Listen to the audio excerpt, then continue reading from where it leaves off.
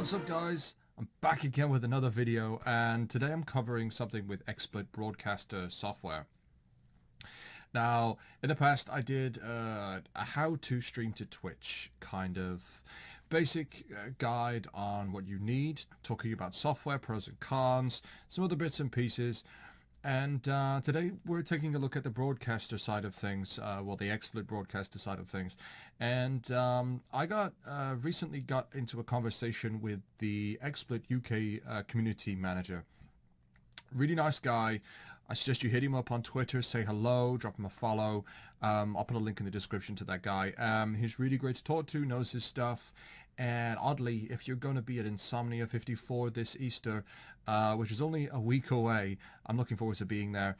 I believe XSplit are doing some kind of uh, talk, uh, talk on broadcasting to Twitch or broadcasting to the internet uh, with XSplit. So that's going to be, that's in the uh, the Insomnia schedule. I'm going to put a link in the description to that as well. But besides the point.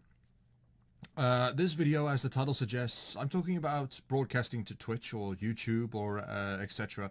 And uh, as we all know, or most people should know, if you're going to be broadcasting to the internet, you're going to be broadcasting live video, it is very system intensive.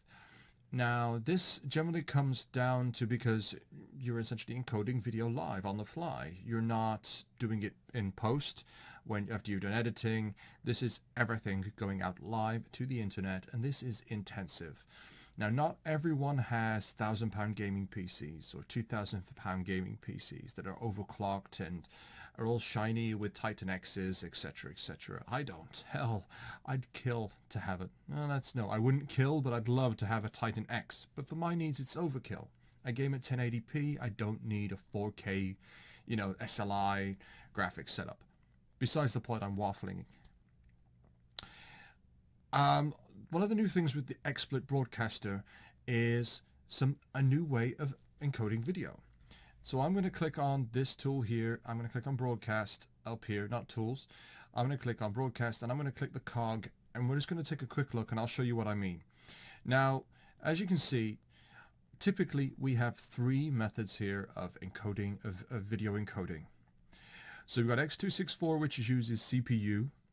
We've got the AVerMedia H.264 encoder and NVENC.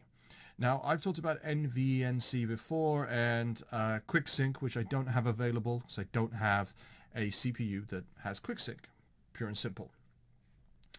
But what I do have is a Xeon i7. So this is the equivalent of a 4770K to 2600K, etc., whatever, um, that has four physical cores and then hyperthreading. Um, but the problem is it's it's a Xeon processor, so there's no QuickSync availability. And if you didn't know, QuickSync essentially is using uh, Intel iGPU, so the in uh, the graphics card that's built into the CPU itself. Um, you enable it, but you're using a discrete graphics card. You're using a whatever Titan X 980, 970, etc. for your display output. So that iGPU just sits there doing nothing unless you turn it, turn some features on within your BIOS, and you will then enable QuickSync. And QuickSync, Twitch, uh, Twitch, ignoring me reading the screen here, XSplit Broadcaster uses it, OBS uses it. Um, I think a few other bits and pieces software-wise use it for encoding video. Um, it's great. It reduces the CPU usage overhead from up in the 80s down to under 20%, depending on what game you're playing. And obviously, if you're playing something very CPU intensive, DayZ is an example, DayZ Standalone or DayZ Mod, very CPU intensive, and causes problems when you're trying to encode video on the fly for your stream.